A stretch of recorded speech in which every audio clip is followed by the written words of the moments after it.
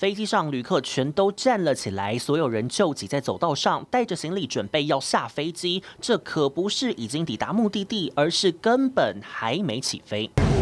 换一个场景，来到巴士上，但这些旅客还是同一批人。原来他们临时被告知要改机，只好搭巴士返回登机门。出关之后没有起飞，又入关了。最后又把所有责任都丢给消费者的感觉，嗯，就是你要退费你就退费，但。但是就等于说你自己不搭飞机。原来是库航的 TR 八九八班机从桃园机场飞往东京，本来的起飞时间是二十一号的上午七点半。旅客登机之后，飞机一直绕行，准备冲刺起飞，却几度熄火。快要十点的时候，机组人员说飞机故障，要先开回停机坪，又处理了一个小时，要乘客改搭另一班飞机。想继续搭，那就是可能应该。不能保证，但是应该是明天的。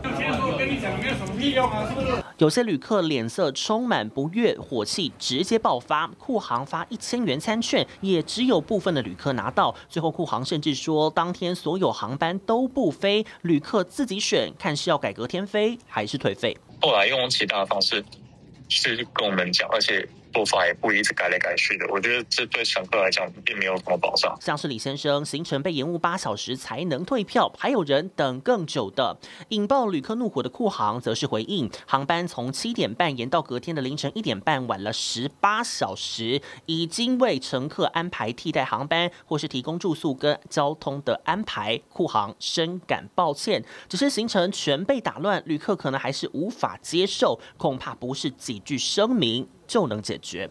TVBS 新闻李正黄凯进桃园曾报道。想看最完整的新闻内容，记得下载 TVBS 新闻网 APP。